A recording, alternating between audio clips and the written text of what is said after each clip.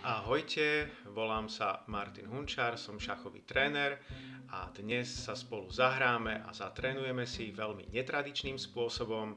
Budeme trénovať naslepo a ja vám chcem dať takto návod, ako môžete vy ako začiatočníci alebo mierne pokročili trénovať aj naslepo. Prípadne to je užitočná rada pre vás trénerov alebo aj rodičov, ako sa môžete takto zahrať s deťmi alebo doplniť vaše tréningy o takúto aktivitu. Takže prvá taká hra, ako sa môžete zahrať s deťmi, v podstate hneď potom, ako e, ovládajú pravidlá a zvládnu súradnice a na tej šachovnici sa už trošku lepšie orientujú, tak e, môžete ich vyskúšať v tom, že keď si zatvoria svoje oči, prípadne si dajú takúto šatku cez oči, aby vedeli vedeli určiť, na ktorých poličkách sa nachádzajú jednotlivé figurky. Takže môžete sa ich napríklad opýtať, že kde majú väžu, bielu väžu na dámskom krídle. Takže najskôr im samozrejme musíte vysvetliť, ktoré je dámske krídlo, ktoré je kráľovské krídlo a oni pekne, sa zamyslia a povedia, že biela väža na dámskom krídle je na poličku A1. Potom sa ich môžete opýtať napríklad na čiernu väžu. Čierna väža na kráľovskom krídle je napríklad na políčku H8. Kde máte jazdca, jazdca na dámskom krídle, bieleho jazdca na poličku B1 a takto môžeme postupne vymenovať všetky figurky a vieme biela väža A1, jazdec B1, strelec C1, dáma D1, král E1, strelec e, F1, jazdec G1, väža H1 a potom tam máme pešiakov A2, B2, C2, D2, E2, F2, G2, H2. Takto môžu postupne vymenovať všetky figurky. No a keď zvládnu toto, e, tak potom im môžete dávať úlohu, že keď máme napríklad pešiaka na poličku A2, a tento pešiak, na ktoré poličko by mohol pešiak skočiť. A oni musia uhádnuť, že pešiak z A2 môže ísť na políčko A3 alebo môže ísť na políčko A4, postupne sa ich môžete pýtať na čiernych pešiakov, napríklad z políčka E7 môže ísť pešiak na políčko E6 a na políčko E5. Eh, chcem vám veľmi odporučiť, aby ste tie úlohy dávali úmerne tomu, eh, na akej úrovni sú, sú, sú deti, ktoré trénujete alebo s ktorými sa hráte, aby tie úlohy neboli príliš ťažké, pretože ich to zbytočne odradí je veľmi užitočné, pokiaľ tie úlohy sú nastavené tak, že tie deti to zvládnu a cítia sa pri tej hre, že áno, je to ťažké, musím sa zamyslieť, ale, ale dokážem to a zvládnem to. A takto postupne si rozvíjajú, rozvíjajú svoju pamäť, svoju, svoju predstavivosť. E, dobre, ďalšia taká, taká hra, ktorú sa môžeme hrať, e, môžeme vyčistiť e, šachovnicu. Um, a keď máme úplne prázdnu šachovnicu, dajme si kráľov do základného postavenia, takže dáme si bieleho kráľa E1, čierneho kráľa na poličko E8 a väžu si dáme e, bielu väžu do základného postavenia na poličko A1. A teraz sa môžete opýtať deti, že ako by sa, ako by sa tá väža dostala na políčko treba z G7, a musia nájsť tú cestu. Čiže nie je to už na jeden ťah, takže musia sa trošku nad tým zamysleť a zistia, že áno, tá cesta na G7 vedie, že väža musí ísť najskôr na A7 a potom sa dostane na poličko G7. Prípadne im môžete dať úlohy, kde e, je tých e, riešení viac. Ak by sme napríklad dali toho bieleho kráľa e, na poličko E2, a čierny král môže zostať na E8 a, a znova by tá beža bola na poličku A1, tak vieme, že na to poličko G7 sa tá beža môže dostať nielen tak, ako v tom predchádzajúcom prípade cez, cez A7 na G7, ale môže sa tam dostať aj tak, že pôjde väža po prvej rade na G1 a z G1 sa potom dostane na poličko G7. Podobne sa môžete zahrať e, aj s pešiakmi, čiže znova, keď na prázdnu šachovnicu postavíme bieleho kráľa na E1, čierneho kráľa na poličko E8, tak a dáme pešiaka, bieleho pešiaka na A2, môžete sa ich opýtať, koľko by trvalo tomu pešiakovi, kým by sa dostal na pole premeny. Um, a teraz deti počítajú, prvý ťah je A4, potom A5, A6, A7, A8, takže vieme, že to trvá 5 ťahov, kým sa dostane biely pešiak uh, na pole premeny. Uh, môžeme sa takto veľmi pekne zahrať uh, hru aj so strelcami, Takže znova, keď si vymažeme všetko na šachovnici a poskladáme to na novo, dáme si Eh, bieleho kráľa na E1, čierneho kráľa na E8 a dáme si bieleho strelca na C1. Eh, túto hru ja, ja nazývam hra na takého biliardového strelca, eh, kedy ten strelec pripomína biliardovú gulu, ktorá sa odráža od, od tých jednotlivých častí biliardového stola. Takže skúsme si predstaviť, že ako keby hodíme tú gulu, hodíme tým strelcom, ktorý ide šikmo a deti musia vymenovať všetky políčka, ktorými ten strelec prechádza po šachovnici, kým sa vráti do svojho základného postavenia. Takže biely strelec vieme, že je na políčku C1 a teraz postupne hovoria deti súradnice. Ide na D2, E3, F4, G5, H6 a tam narazí teda na stenu a kam sa odrazí. Obyčajne to robievam tak, že vtedy vyvolám druhé dieťa, pokračuj, teraz kam sa odrazí. No, tak musí ísť na G7, potom ide na F8. Môžete vyvolať ďalšieho. E, a teraz kam? Tak teraz musí ísť na E7, D6, C5, B4, A3 Áno, a pokračuj ďalší. No a ten ďalší dokončí, že z toho polička A3 ide na B2 a z B2 sa vráti na C1. Keď to chcete oživiť, tak môžete znova e, vyskúšať e, iného strelca, ktorý začne z polička F1, alebo nejakého iného strelca, či napríklad čierneho strelca, ktorý je z C8 alebo F8. To nemusíme teraz robiť, ale len hovorím, že tých, tých variácií je, je veľa.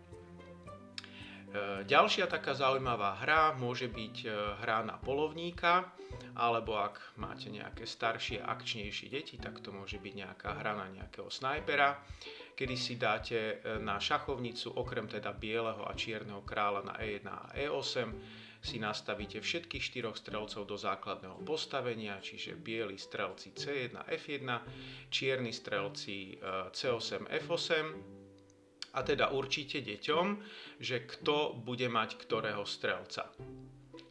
Samozrejme, deti to riešia so zatvorenými očami.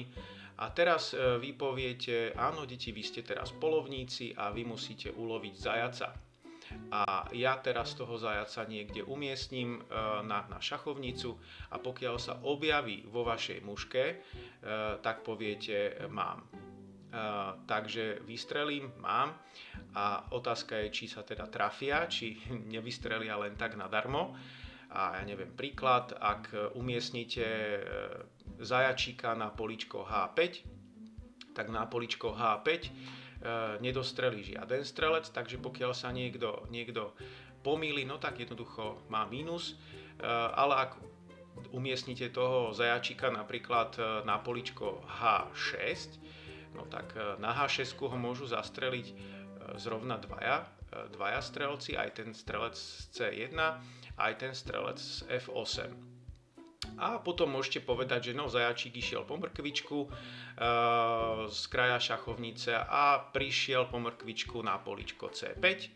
No a na C5 ho môže zastreliť ktorý strelec? No ten strelec z F8 môže zastreliť zajačíka. Takže to je hra, hra so strelcami. E, rovnako veľmi pekne sa môžete zahrať aj e, s jazdcami. E, tam je to o niečo ťažšie pre začiatočníkov. Taká celkom pekná hra je Dajme si kráľa, bieleho kráľa na E1, čierneho kráľa na E8 a bieleho, bieleho jazdca na, G, na B1. Na dámske krídlo a teraz úloha bude, ako sa tento jazdec dostane na poličko H8. Čiže ako sa dostane do rohu šachovnice a teda jazdec ide na C3, potom ide na D5, potom ide na poličko F6, z polička F6 ide na poličko G8, a potom musia deti nájsť ten manéver, obyčajne im hovorím, že no keď odskocúva do garáže, tiež na prvýkrát možno netrafí, musí sa potom trošku vrátiť a potom to napraví a potom pekne zacúva do garáže.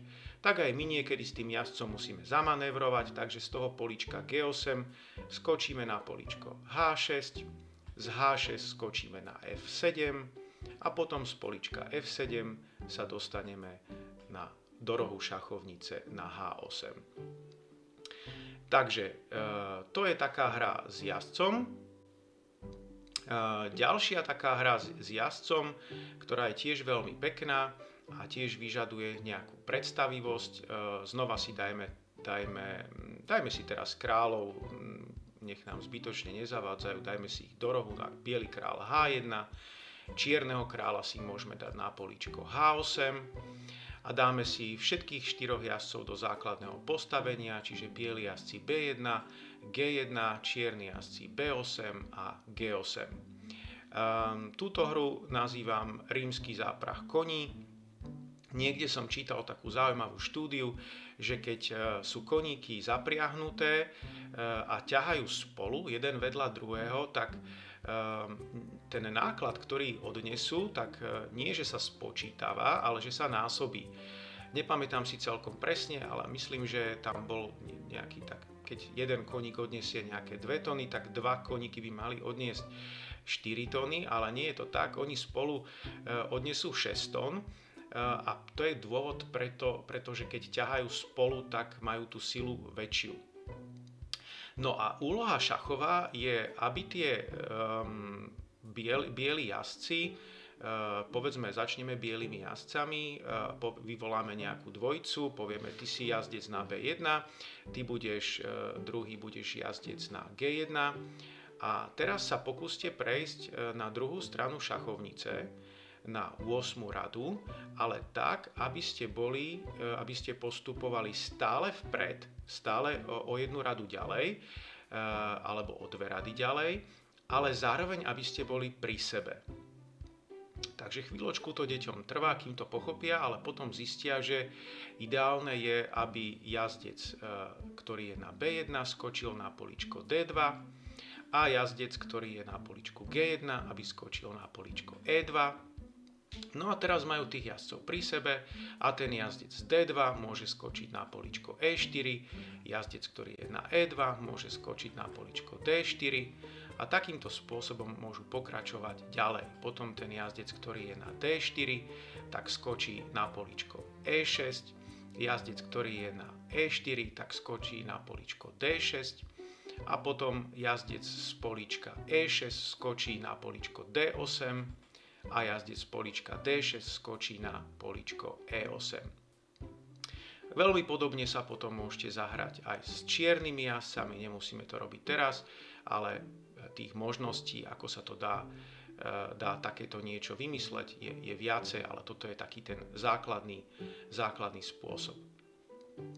E, ďalšia taká hra, ktorú môžete hrať e, s deťmi, je, že budú určovať biele a čierne polička na šachovnici Ehm, a jednoducho vyberiete nejaké poličko, napríklad E2 a oni musia povedať, že to je biele, E4 je biele, G7 je čierne, G5 je čierne, C4 je biele a tak ďalej a tak ďalej. Eh, pre nás eh, skúsenejších šachistov by to nemal byť taký problém, ale čudovali by ste sa, že to môže robiť problém, eh, kým si deti zvyknú. Ideálne je, je ich naučiť to, že ako sa môžeme orientovať na šachovnici bieli, na biele, ktoré sú biele a čierne polička, jak si uvedomíme, ktorí strelci sú bielopolní a ktorí sú čiernopolní. Takže pokiaľ viem, že strelca na F1 mám bielopolného a ten strelec, keď e, pôjde aj na G2, obsadí celú tú diagonálu H1, A8, tak to všetko budú, e, budú biele polička a rovnako viem, že napríklad čierny strelec čiernopolný, ktorého máme na F8, pokiaľ ide na G7, tak celá tá diagonála, diagonála A1, H8, potom budú čierne polička. No a keď viem, že G7 je čierne poličko, tak potom pochopiteľne aj G5 bude čierne poličko, G3 bude čierne poličko. Takže e, takýmto spôsobom môžete deti učiť a môžu sa s vami zahrať. E, ďalšia taká hra, možno už o niečo komplikovanejšia, je, že si dáte bieleho jazdca na B1 a poviete, že to je nejaký e, princ na bielom koni, ktorý musí vyslobodiť svoje kráľovstvo, ale musí prejsť na poličko H8, avšak bude tam e, stáť v ceste um, dáma, dáma, čierna dáma na E4, um, môžeme si dať niekde kráľov, aby nezavadzali, dajme si bieleho kráľa treba na A1, dajme si, dajme si čierneho kráľa na A8 a ten biely, biely jazdec musí prejsť, musí prejsť tak, aby ho odkedy urobí akýkoľvek ďalší ťah, aby ho tá čierna dáma nikdy nevyhodila, nikdy neohrozila. Môžeme možno vyznačiť na šachovnici všetky tie polička, ktoré ohrozuje čierna dáma, aby to bolo jasné, čiže všetky celý ten stĺpec E, celý ten stĺp, e, celú tú štvrtú radu a potom tie diagonály. No a deti musia objaviť tú cestu, tých možností je samozrejme viac, ale skúsime teda jazdec B1 pôjde na poličko D2, potom z D2 pôjdeme na F1, z F1 pôjdeme na G3, z G3 pôjdeme na H5 a už sme sa teda vyhli e, z toho, z toho najhoršieho. A takto tú čiernu, e, čiernu e, kráľovnú, ktorá zakliala celé kráľovstvo, v podstate obídeme. Ak sú deti ešte zručnejšie, môžete to ešte trošku stiažiť, napríklad tak, že im dáte, dáte ako keby obísť celý ten kruh, môžete vymysleť príbeh, že ak ten jazdec obíde tú čiernu kráľovnú, ktorá zakliala kráľovstvo, ak ju obíde bez toho, že by ho ohrozila, tak to kráľovstvo bude odkliaté. A potom v tom prípade budú musieť deti tú celú, e, celý ten okruh urobiť bez toho, že by ich e, tá dáma ohrozila. E, posledný príklad, ktorý uvediem, je, že pokiaľ tie deti sa zlepšujú ešte viac, tak môžete také úplne najjednoduchšie taktiky im dať naslepo skúsme napríklad takú veľmi jednoduchú edukatívnu e, taktiku, kedy bieleho kráľa dáme na políčko G6, čierneho kráľa dáme na políčko H8 a dáme si bielu dámu na políčko E7. A úloha detí je, aby našli všetkých 5 matov, ktorá, ktoré môže dať biela dáma a e, je teda jasné, že biela dáma môže dať mat na poličku G7, na poličku H7, môže ísť e, na poličko E8, môže ísť na pole, na pole F8 a takisto na pole D8. Takže na tomto základnom 8. rade má, má 3 možnosti a potom na, na 7. rade má 2 možnosti. Takže e, pokiaľ ste skúsení šachisti, tak toto by nemal byť pre vás problém, ale čudovali by ste sa, že deti sa pri tomto dokážu zapojiť, zapotiť e, a môže to pre nich e, byť aj ťažké, ale prosím, robte to tak, aby to bolo úmerné pre tú úroveň detí a postupne im to môže pomôcť, že sa môžu viac a viac zlepšovať v taktike.